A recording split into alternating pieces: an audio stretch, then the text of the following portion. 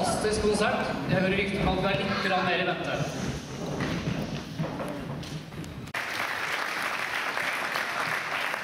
Og så har vi selvfølgelig Frode, som vi kan uh, takke for teknisk bistand.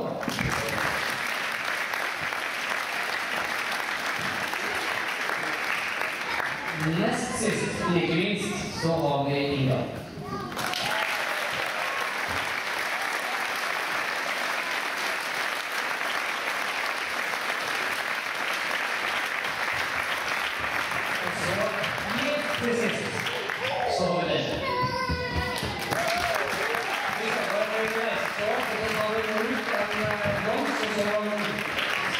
Others help him.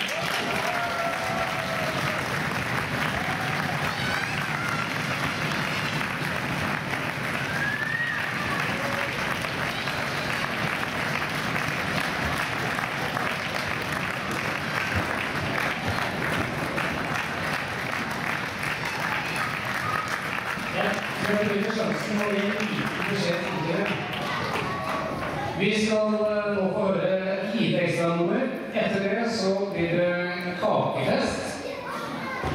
Og så etter det, når vi er ferdig med kakefest, så trenger vi litt av hjelp til eh, rydding. For det er slik at det er eh, to stoler som skal inn på rom der inne.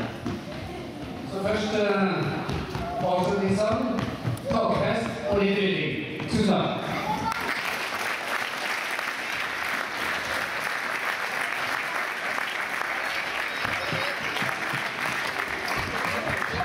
Og Det er donasjonssalg for kaker. Det betyr en liten symbolsk